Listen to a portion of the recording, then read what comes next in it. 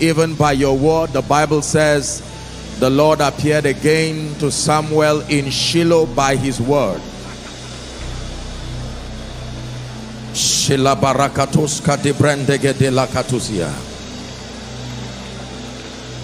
An encounter by your word tonight that will change my life.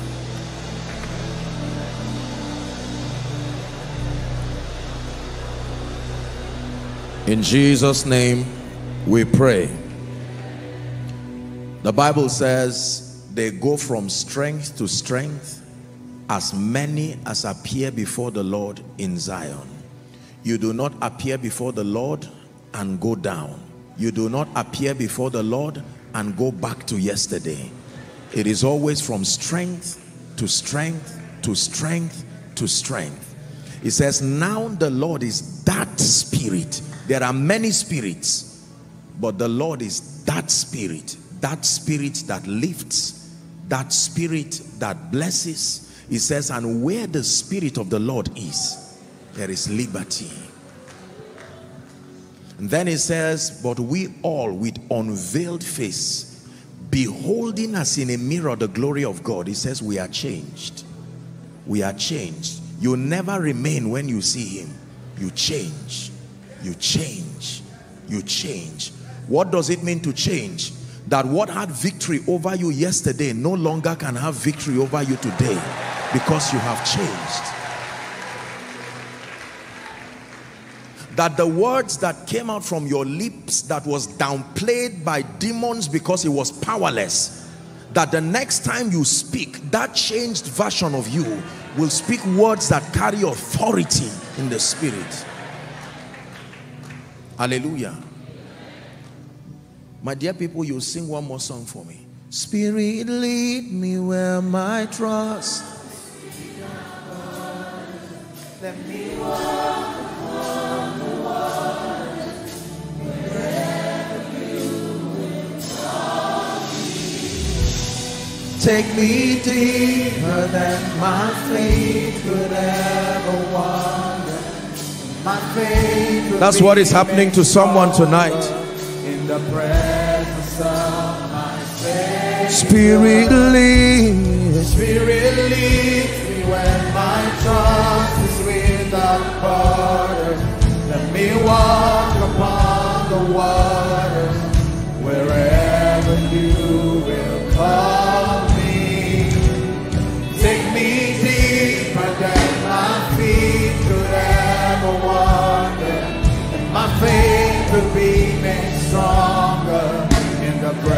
One more time.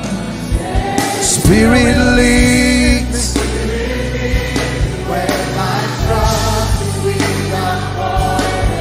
Let me walk upon the water wherever you will call. Take me deeper, take me deeper than my feet could ever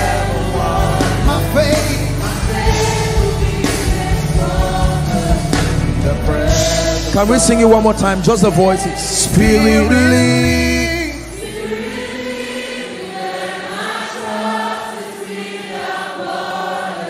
Let me walk upon the water wherever you Sheba lakato sada brandi dede. take me deeper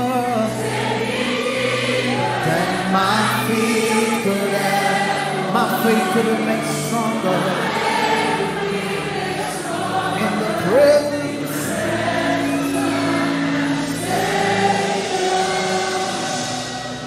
the Bible says, when Jacob dismissed his wives, his cattle, the Bible says he was left alone.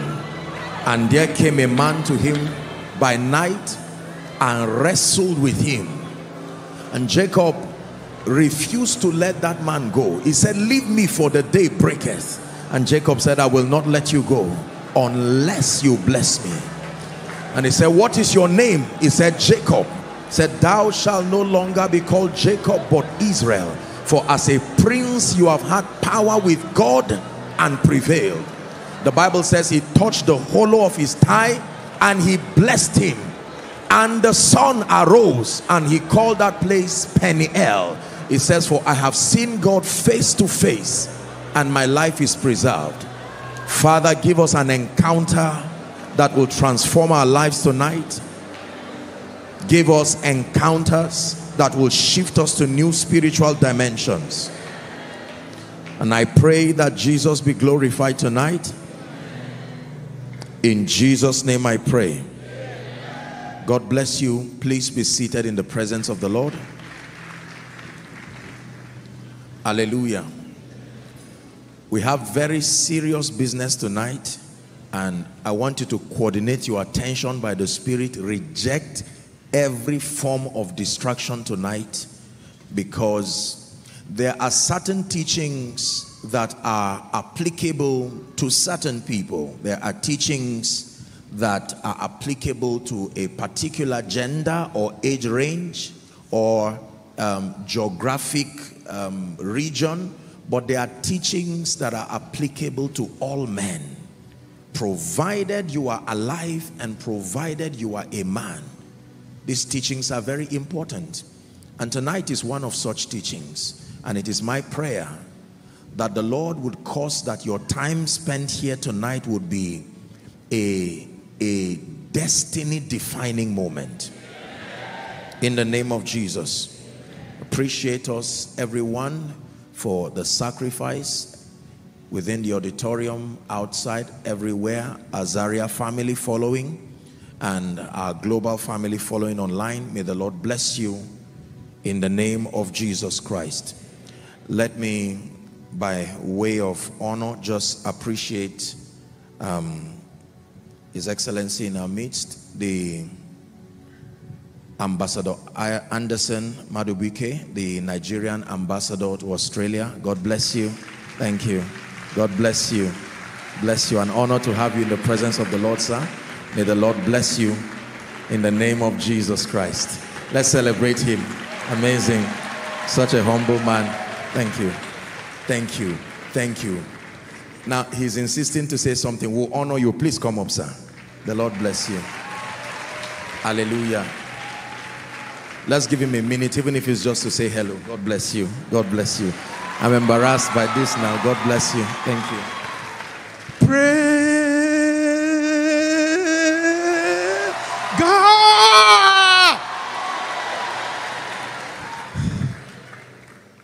Is a turning point of my life. I've been praying my whole life to meet him. I've been in diplomatic service for 29 years. God has blessed me so much. But I know the blessing that I'm going to get today will take me to another level. He's the only person I call the apostle of God in this great country. I am honored to meet you. God is good. Thank you. Let's bless him. Very, very humbling from His Excellency, the Nigerian Ambassador to Australia. Thank you, sir. Thank you. Amen. Indeed, the Lord will do you good in the name of Jesus. And every other special person here, may God bless you. This is Koinonia, the house of God. Praise God.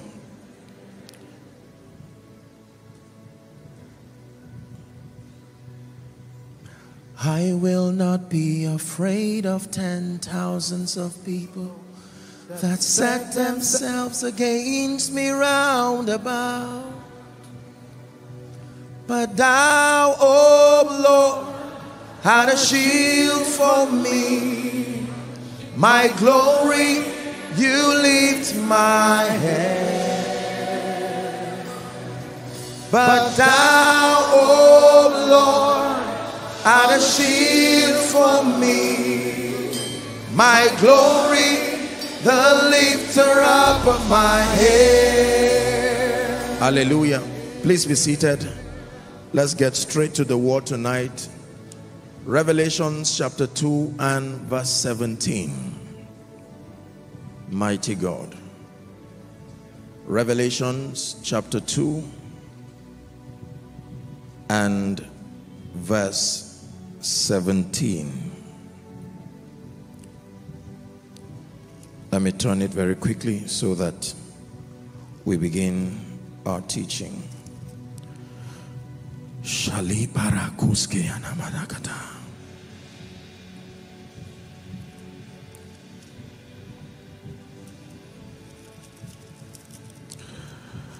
The Bible says, He that hath an ear, I'm reading from my Bible, King James, let him hear what the Spirit saith to the churches. Then it says, To him that overcometh, I will give to eat of the hidden manna, and will give him a white stone, and in the stone a new name written which no man knoweth, save he that receiveth it. Grant us understanding, O God, in the name of Jesus Christ. Tonight's teaching is specially dedicated to those who have made a determination under God that they will live fruitful lives and lives that are dedicated to glorifying Jesus. Tonight's teaching is dedicated to people, men and women, who have made up their minds that they will fulfill their divine call in Christ. Tonight's teaching is dedicated to those who have obtained the help and the mercy of God in their various endeavors and have tasted certain levels of greatness and certain levels of success. Tonight's message is also dedicated to those who have become weary as far as pursuing the purposes of God for their lives are concerned. Men and women who have been beaten down by the vicissitudes of life and are seeking perspective and an explanation as to the happenings around their lives. Tonight's teaching is also dedicated to those who are about to begin their journey as far as their spiritual experiences and destiny is concerned. So if you belong to any of these categories aforementioned, you're welcome to a teaching that indeed will transform your life. Hallelujah. Praise the Lord.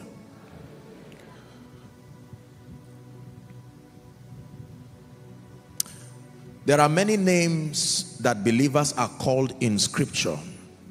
Theologically speaking, believers are classified in two groups when, when God gives us our naming. We are classified in two groups broadly. There is the name that a believer is given by reason of his oneness with Christ these are the names that come on account of the privilege of the new birth. For instance, the Bible calls us sons of God. The Bible calls us believers. The Bible calls us one with Christ. It calls us joint heirs with Christ and even heirs of God. Jesus himself was teaching in John 15 and he said, I am the vine. And he calls us branches, grafted by that substitutionary sacrifice to the vine. But there are other names that he calls us, not just based on identification, but based on function. For instance, he calls us light. For instance, he calls us salt. He calls us ambassadors. He calls us a royal priesthood, a holy nation, a chosen generation, a peculiar people. These are names that attempt to describe our function. But there are other names that are used in scripture as a testament of endurance, as a testament of the strength and the stamina that an individual can derive from within his spirit. Many of them, but one of them that is very important for the teaching tonight is called an overcomer.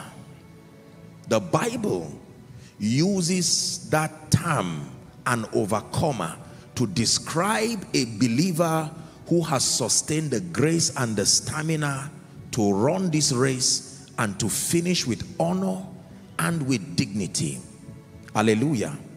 That it is possible for a believer, in addition to being one with Christ, in addition to being the Son of God, in addition to uh, the revelation of our, our identification, and then in addition to the names given as far as our function is concerned, that you can you can receive this addition like a credential that more than the son of God that you are, more than light and salt, more than a king and a priest, more than an ambassador, more than all of these names, there is a noble name that only the mouth of the Lord can call a believer.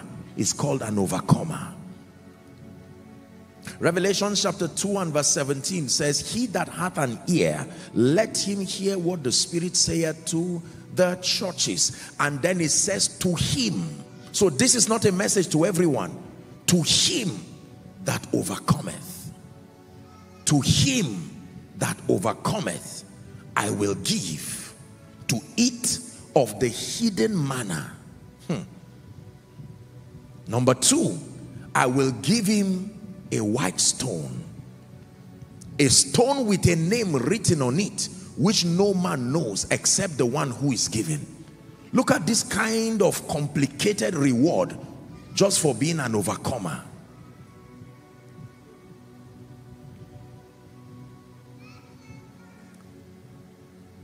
The Bible is very clear as to the fact that in the entire lifetime of any individual for that matter, not necessarily a believer, any individual that is privileged to walk upon the face of this earth. The Bible lets us know that God is not only the God of all flesh, but he's also the God of times and the God of seasons. We have dealt with the law of seasons. Please do well to listen to that teaching. And that in your pursuit and your journey, towards the knowledge of God, towards fulfilling your divine call, and assignment towards destiny. The Bible does not leave us in the dark as to the fact that the possibility exists that you can be challenged by situations and circumstances that attempt to impede your journey, number one, or attempt to fight you or attempt to stop you from finishing that journey or even attempt to stop you from starting the journey. The Bible is not silent as to the fact that these possibilities exist. Hallelujah. The second information that is very interesting and important is that no single person wearing a mortal body is immune from the reality of these seasons that the only thing we are, the guarantee that we are given in Christ is that we can sustain the grace and the intelligence to rise above them.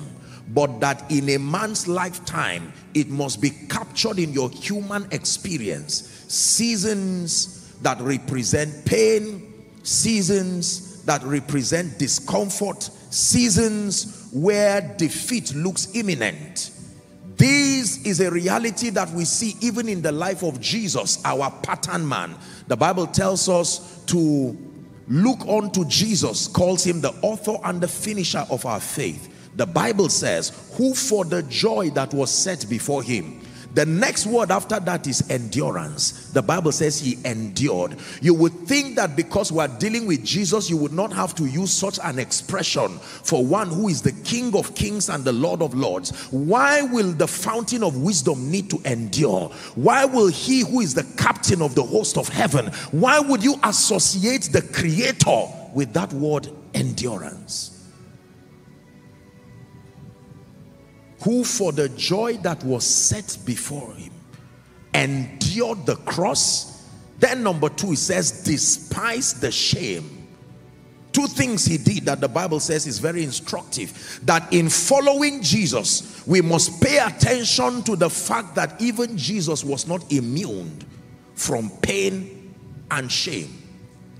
Now, most people in church, most believers in the body of Christ have not been taught the spiritual systems put in place to deal with these seasons and these times. In as much as we teach on victory in as much as we teach on the invincibility of the believer as far as his association with the Christ is concerned. We must be honest and matured enough to expose believers to the things that befall all men and to prepare their hearts so that if and when these seasons come, the believers can sustain stamina to be able to go through these seasons and then return victorious. Are we together now? So for instance, we've had believers who have gone through unpleasant situations, say during the pandemic and after the pandemic, people have lost money who love Jesus with all their hearts People have lost loved ones without answers. There are people who the equation of their lives and destinies in spite of their committal to the things of God, it doesn't seem to add up. And many of them continue to ask secret questions. And that is the responsibility of a shepherd in Christ, to be able to bring perspective and light to issues, even difficult issues like this. Are we together? First Peter chapter 4 and verse 12. Media, let's walk together, please. First Peter chapter 4 from verse 12 to 16. Apostle Peter is teaching us now, and here's what he had to say.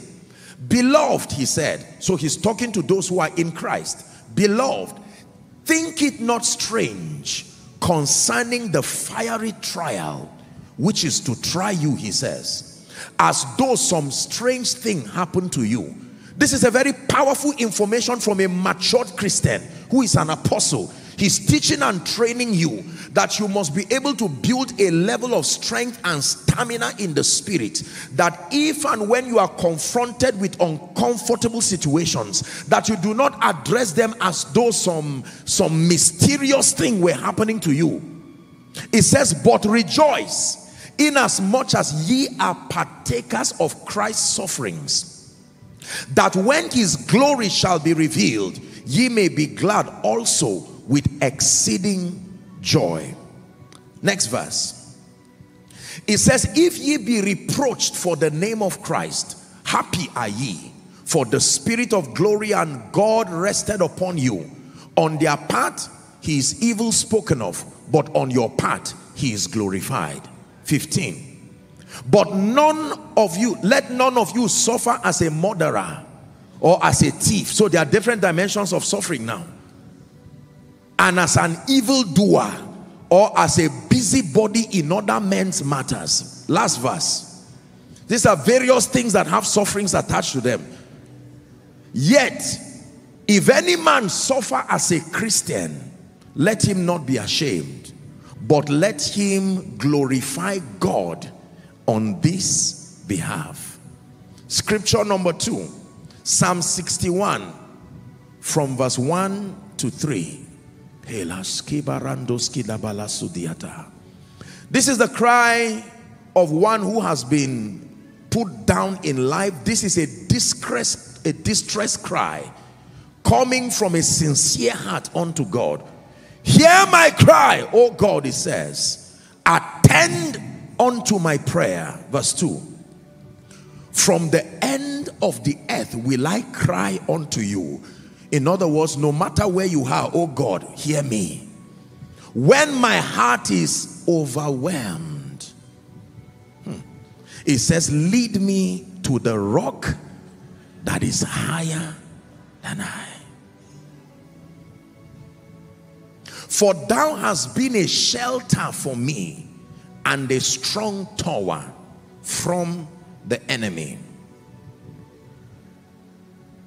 So the Bible lets us know that it is possible, listen carefully, it is possible for a believer to go through a season in his life, in the life of a ministry, in the life of an organization, in the life of a family, in the life of a nation, and in the life of a continent where it seems as though the word of God is not producing the kind of result that you believe for it to produce. In fact, the Bible says in Proverbs 24 and verse 10, Proverbs chapter 24 and verse 10, It says, if thou faint in the day of adversity. Everyone say the day of adversity. December 25th in Nigeria and across the body of Christ is generally, it's been a day that has been earmarked to celebrate Christmas. Is that true? Wherever you are across the world, once it's December 25th, usually people celebrate Christmas. There are days earmarked to celebrate Easter. Um, other religions like, like our Islamic brothers have days where they can select to celebrate different, you know, activities. Other religions have days. Now, the Bible is telling you that is not the only day you should pay attention to. That there is another day, please give it to us, called the day of adversity. Not the hour of adversity, not the minute of adversity. Day there does not just mean 24 hour, it means season. There is a season of adversity and he's giving you an information up hand that if you faint in the day of adversity, it is because your strength is small. It is not because the adversity naturally should sustain the power to overwhelm you, but you did not build strength for that day. Are we still together?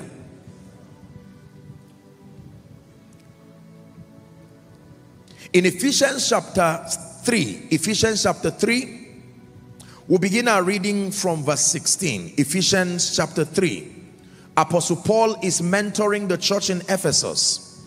And he began to pray for them that they be strengthened with might by his spirit in the inner man. Everybody say strengthened with might in the inner man.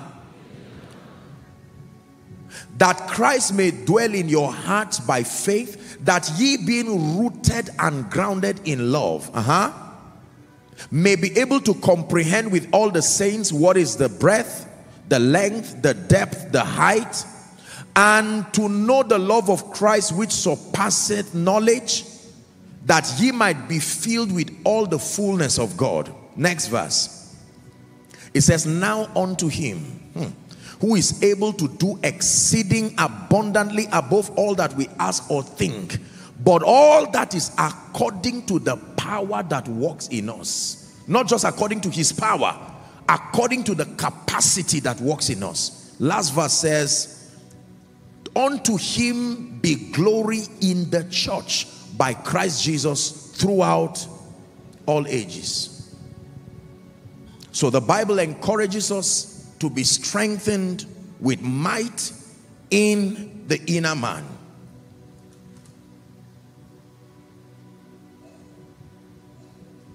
In Galatians chapter 6 and verse 9, again Apostle Paul is teaching here.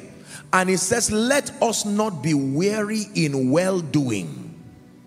Do not be weary. He's mentioning a word here now. That there is also a, there is a relationship, a strange relationship between weariness and well-doing. That a man can be involved in well-doing and yet be weary. He leaves you with an information that provides comfort. It says, for in due season we will reap. If, if there is a condition, if we faint not, that means even if you have been um, committed to well-doing, if you faint, you may not survive the times where the harvest will come for you. I do not know one great man who became great properly with the dignity of kingdom integrity, who does not have a story of these seasons of adversity, whether in ministry, whether in business. In fact, the Bible lists the credentials of the kinds of people you should follow. It says, follow them who through faith and patience if you find results that did not come through faith and patience, it's advising you to run away because something is wrong with that result. Are we together now? Follow them, he says, who through faith and patience have obtained the promise. It is very important for us to know that adversity is a reality that will attempt every life every family sooner or later.